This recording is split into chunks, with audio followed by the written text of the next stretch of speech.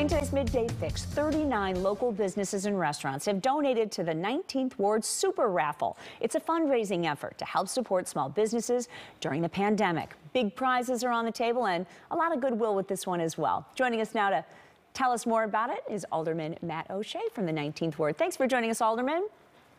Hi, Julie. Thanks for having me. Listen, tell us about this because this is no small feat, and it sounds like what you're really trying to do is highlight small businesses, give back to small businesses, and it started back on November 13th. Yes, we're now 10 days into the 19th Ward Small Business Super Raffle. It is our community's response to the pandemic and the many, many struggling small businesses we have uh, throughout the 19th Ward, Beverly, Morgan Park, and Mount Greenwood. Uh, Matt, tell us, speak, how it, tell us how it works, if you would. So we have 39 participating businesses. Uh, you can go to our website, www.the19thward.com, to purchase a $10 raffle ticket. Uh, that money raised goes into a pot, uh, which at the ending of this, on, on December the 18th, will be, divide, will be divided up to all the participating businesses. So uh, we have some wonderful prizes. Uh, McCarthy Ford, we have a 2020 Ford Escape valued at $27,000. Uh, $15,000 grand prize if you don't want the car. Uh, several other uh, wonderful prizes along with it, but everybody can do their part in supporting small business and have a chance at winning great, uh, great prizes. Uh, you know, all anybody heard at home was that they're giving away cars on the south side for free or for 10 bucks. So be careful. You, know, things might blow up here in just a little bit. I like it, Matt. Um, tell us too. This is uh, something that you all had tried before. It wasn't your first attempt. It went so well. You kind of blew it up and made it a little bit bigger. Could it work elsewhere? Do you think? Um, this is just the south side's effort right now. Absolutely. You know, we've been contacted by other chambers of commerce throughout. Uh, the city and surrounding suburbs asking how, how we're doing this. Uh, absolutely, this can be duplicated.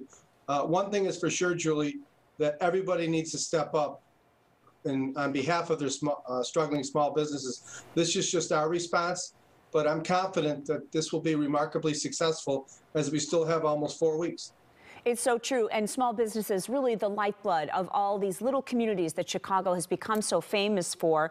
Tell us about the state of things on the South Side in particular. What are you seeing in your community right now when it comes to your small businesses? What are you hearing? I'm sure they're very grateful for the raffle, but outside of that, what does the struggle look and feel like to you? Julie, they're devastated. Uh, many of our businesses are hanging on by a thread right now as we speak. Uh, they're dipping into their savings. Uh, they are struggling to keep not only their doors open, but their dedicated staff employed. Uh, we need to do more as communities to support them. Uh, this is one effort. Everybody can take part. Um, but yeah, they're, they're really struggling right now.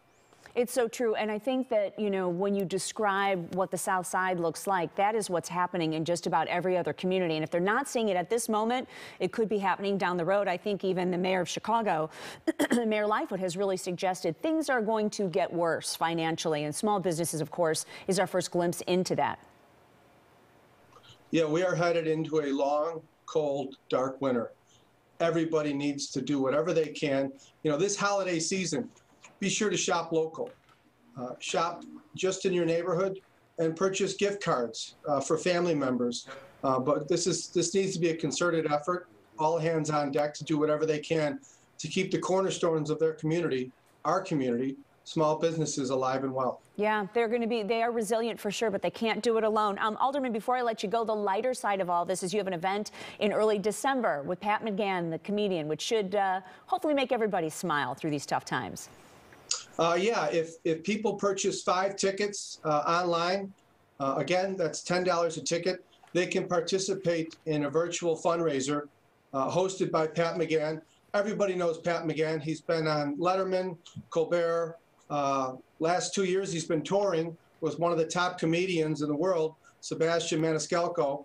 Uh, we're lucky to have Pat here as a friend and neighbor. Pat and his wife, Sarah, do so much to support our local community.